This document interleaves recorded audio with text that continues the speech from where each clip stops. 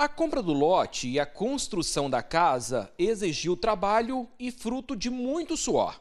O que era para ser a realização de um sonho se tornou uma dor de cabeça que se arrasta há 22 anos. O problema aqui é que a gente não consegue arrumar nossa escritura dos nossos lotes, nossos imóveis. Comprou isso aqui, pagou, e quando eu fui tirar o na imobiliária para pegar a papelada para fazer a escritura, eu já estava impedida de fazer isso, porque tinha a primeira penhora em 2005.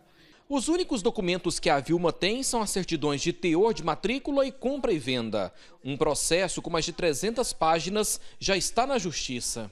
O antigo proprietário, que foi quem concedeu a autorização de venda para a imobiliária Donizete, ele tem inúmeras dívidas. A gente ouviu uma notícia de mais de 80 milhões de reais de dívidas, dívidas fiscais, tributárias, de todas as esferas.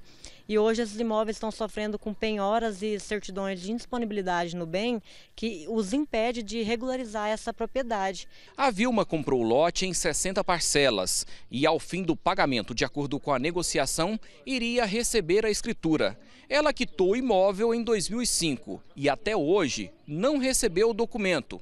E não é só ela que está enfrentando esse problema, não. O seu Osmar também está no mesmo barco. Adquiriu um lote em 1998 e não conseguiu escriturar. Ele confessa que já fez diversas tentativas e o documento, que é bom, nada. Da indisponibilidade. Aí eu não sabia por quê. Fiquei sabendo há pouco tempo que era essa dívida dos antigos proprietários da até então fazenda aqui, né, que aqui era um matagal, era dívida é, com, com o estado de São Paulo, é desses proprietários. Mas o que, é que nós temos a ver com isso? O nosso lote foi pago, foi quitado, e aí nós entramos com o processo, já estamos com o advogado para poder ser regularizada a situação porque a gente tem, vai, a gente quer escriturar ele, registrar e ficar tudo certo. Segundo a advogada, cerca de 70 famílias que moram na região do Parque Brasília, em Anápolis, sofrem com o mesmo problema.